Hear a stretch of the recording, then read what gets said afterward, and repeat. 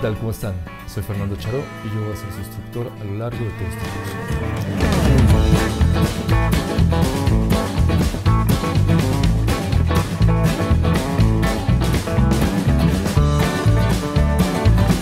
Este patrón funciona de esta manera.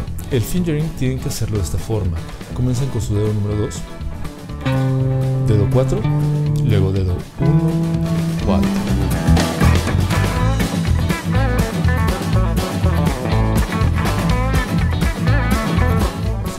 uno.